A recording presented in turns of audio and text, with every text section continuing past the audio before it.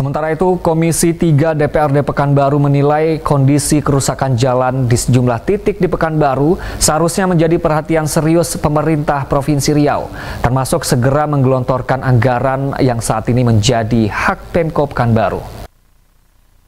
Anggota Komisi 3 DPRD Pekanbaru Ruslan Tarigan menilai minimnya anggaran menjadi penyebab belum dilakukannya perbaikan jalan rusak di kota Pekanbaru.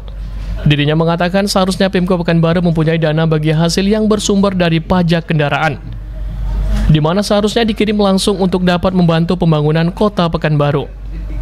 Dirinya berharap Pemko Pekanbaru dan Pemprov Riau dapat saling bersinergi menyelesaikan persoalan kerusakan jalan, yang saat ini sangat dikeluhkan masyarakat. Silpa di Pekanbaru dananya minus karena kekurangan anggaran untuk pembangunan. Artinya kan hak daripada pemerintah kota Pekanbaru diberikan, dicairkan.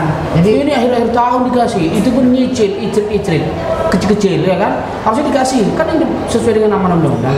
Pembagi dana bagi hasil melalui pajak kendaraan bermotor. Itu kan nggak ngutang. Bayar pajak orang kan langsung cash kan. Ngapain ditahan?